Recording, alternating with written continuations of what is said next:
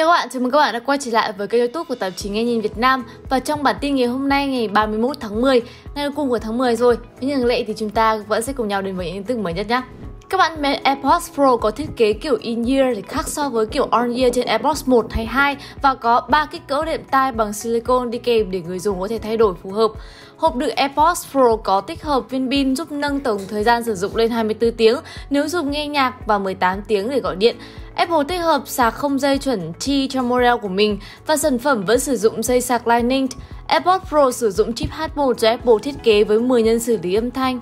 Con chip này có khả năng xử lý audio độ trễ thấp, chống ồn chủ động thời gian thực, cho chất lượng âm thanh cao cấp Adaptive hỗ trợ Siri nhanh chóng, chất âm Pass cũng được đánh giá là mạnh hơn và rõ hơn. Tính năng chống ồn chủ động Active Noise Cancellation ANC là điểm đáng chú nhất trên AirPods Pro mới.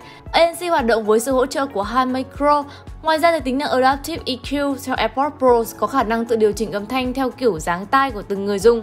Điều này giúp lại âm lượng phù hợp và cá nhân hóa hơn.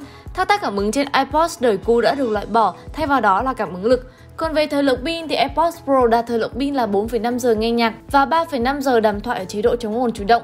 AirPods Pro đạt thời lượng pin 5 giờ khi tắt chống ồn và AirPods Pro có khả năng chống mồ hôi, nước khi tập thể dục, có xếp hạng IPX4 và sản phẩm này sẽ có mức giá bán dự kiến là 7,9 triệu đồng cho những phiên bản đầu tiên về Việt Nam và sẽ hạ nhiệt dần trong thời gian tiếp theo đó.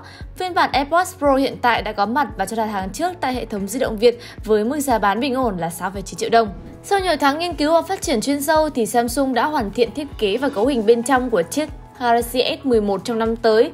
Báo cáo từ chuyên gia dò dỉ Ice Universe hoàn toàn trùng khớp với dòng thời gian phát triển thông thường của công ty, nơi bộ phận R&D của họ đã hoàn tất quá trình thiết kế Galaxy S10 vào ngày 1 tháng 11 năm ngoái.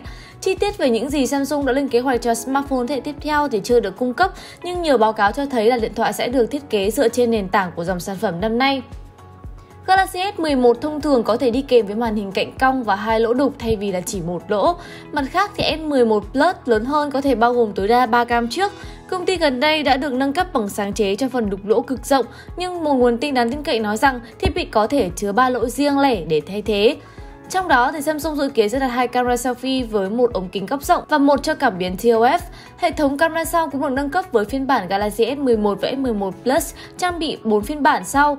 cùng cảm biến chính là 16 megapixel, hoàn toàn mới thay thế cho 12 megapixel trước đó, kết hợp với camera góc cực rộng cải tiến và cảm biến TOF để chụp ảnh chân dung, giúp nội dung AR chính xác hơn nữa.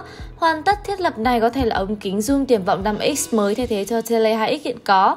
Và Galaxy S10e rẻ hơn sẽ giữ lại camera chính và góc cực rộng như các phiên bản anh em, trong khi hai máy ảnh còn lại bị loại bỏ.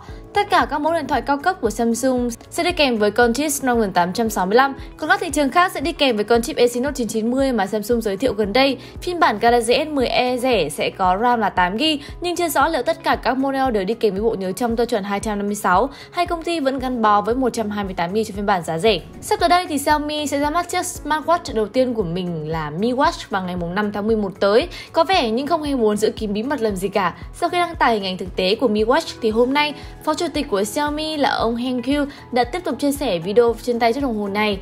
Mi Watch có thiết kế khá giống với Apple Watch nhưng phần cạnh vuông vức hơn. Chiếc đồng hồ này cũng có một vòng xoay ở cạnh để người dùng tương tác nhanh với nội dung. Nhưng nếu nhìn kỹ hơn thì thấy giao diện của sản phẩm này không khác gì một chiếc smartphone được thu nhỏ đem vào.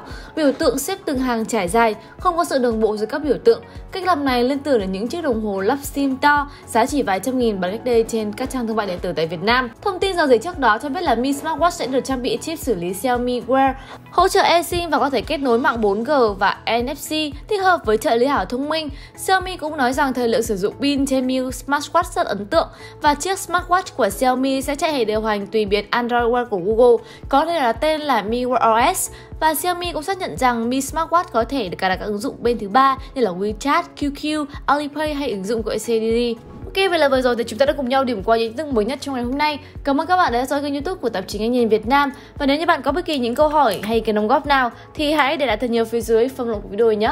Còn bây giờ thì xin chào và hẹn gặp lại các bạn